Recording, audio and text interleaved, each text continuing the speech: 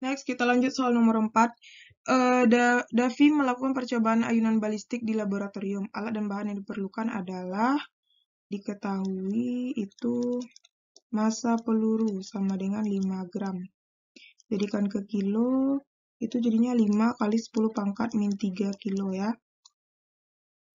Kemudian tali sepanjang 50 cm. Senapan serta beban 1. Jadi M1 banding M2 banding M3 banding M4 banding M5 adalah 15 gram banding 20 gram banding 25 gram, banding 30 gram, banding 45 gram. Ini semuanya gram ya. Gram, gram, gram, gram, gram. Oke. Nah, terus memiliki bentuk dan ukuran yang sama. Senapan tersebut hanya mampu menembakkan peluru dengan kecepatan maksimum. Berarti Vmax-nya itu adalah 30 meter per sekon. Agar ayunan tersebut mencapai ketinggian maksimum, Hmax-nya adalah 45 cm atau sama dengan uh, eh, 45 kali 10 pangkat min 2 meter. Maka langkah yang harus uh, Davi lakukan adalah di bebannya tuh beban berapa yang mau dipakai gitu ya. Jadi M M bebannya berapa. Nah, oke. Kalau misalnya di ini di ayunan plastik ini ya kita pakai persamaan V peluru itu ya V max-nya itu. Nah, jadi V peluru maksimum sama dengan massa peluru ditambah massa beban per massa peluru dikali akar 2GH ya.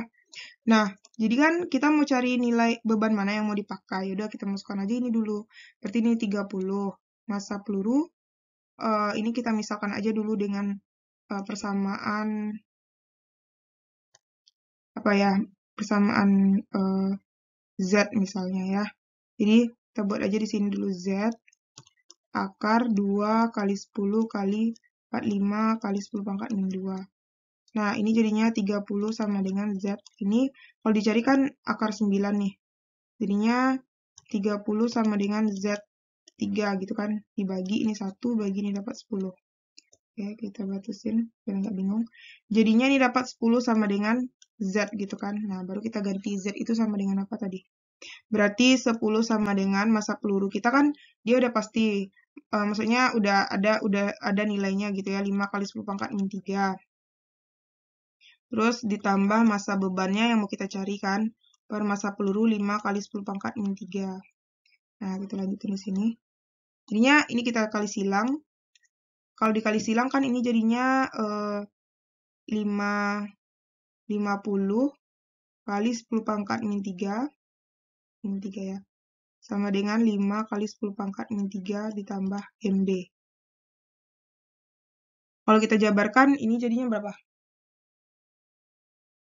Uh, kita pindah ruas saja ya. 50 dikurang 5 uh, dikurang 5 dalam kurung uh, sekali 10 pangkat min 3. Dia sama nih kan. Ini kan bila lurus ke sini jadi kurang. Ini ini 45 kali 10 pangkat min 3 sama dengan MB. Nah, ini kan satunya kilo nih.